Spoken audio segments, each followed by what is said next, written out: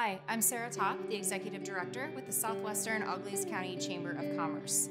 Here in the Golden Triangle, we are known for supporting our people, our businesses, and our communities.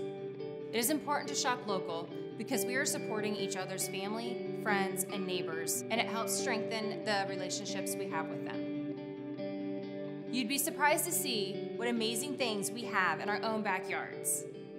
So Main Street became a restaurant early in the 50s. Uh, had a couple other different businesses in here. Um, her aunt named it Main Street in 1987. Uh, my parents took over in 1998, and my wife and I took over in 2013. We do breakfast, lunch, and supper, uh, wings. I also have a smoker. We do some pulled pork, some smoked chicken. We make everything from scratch our soups, our salads, everything comes from scratch. Our, our biggest change now, which, which really has become the focal point of the restaurant, is the gym floor here. Um, this was actually the gym floor from 1976 to 2008.